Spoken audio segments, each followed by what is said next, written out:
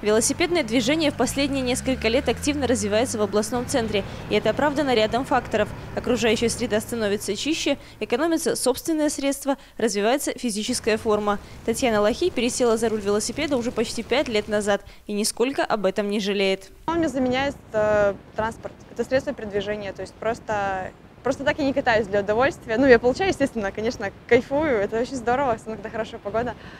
А так, это средство передвижения. Во все точки города я могу мобильно добраться. В принципе, в течение 20-30 минут я могу быть и в одном конце города, в другом конце города и по работе домой. Ну, это очень удобно. Я считаю, что это очень здорово. Конечно, в последние несколько лет в городе было сделано немало для развития велодвижения. В частности, на тротуарах и проезжей части появились специальные полосы и дорожки, по которым могут свободно перемещаться любители двухколесного транспорта. Уникальное полотно создано специалистами группы компании Steam и имеет высокую степень износостойкости. В рамках реализации в областном центре концепции Симбио-Сити «Умный город» участники программы пришли к идее развития в Бресте велошеринга – системы совместного использования велосипедов. Это велопрокат велопрокат, который активно используется на Западе. Мы, посещая многие регионы, э, в этом убедились и сами э, порой э, для того, чтобы посетить какие-то исторические части города, ну, неудобно пользоваться автомобилем. А приехав на железнодорожный либо автомобильный автовокзал у нас, взяв за условные какие-то совершенно условные деньги велосипед нужно проехать по исторической части города. Вот поэтому мы создаем эти условия. Это начало такого длинного пути.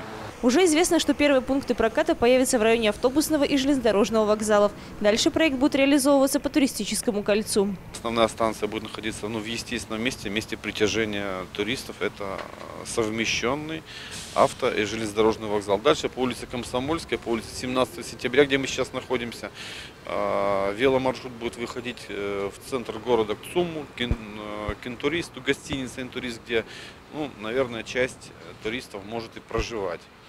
Дальнейшее э, лучеобразно или радиально в разные стороны расходясь, этот маршрут будет следовать и к Брестской крепости, и к центру города на бульвар.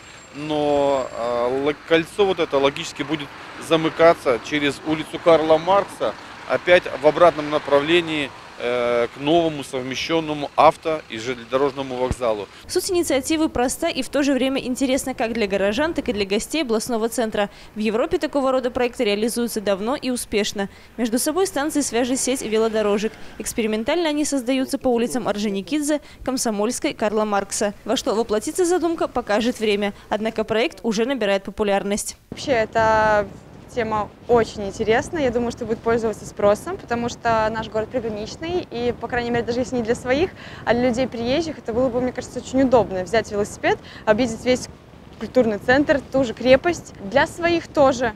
Почему нет? Ну, если тебе не хочется на общественном транспорте, если тебе не хочется сидеть машины, у тебя нет денег на маршрутку, я думаю, что если это будет стоить дешевле маршрутного такси, то наш народ и так очень много сейчас, ну, молодежи и не только ездит на велосипедах, ну и еще больше просто возрастет количество. Анастасия Ноздрин, Плотницкая, Андрей Щерба, Дмитрий Лазарчук, телекомпания БУК ТВ.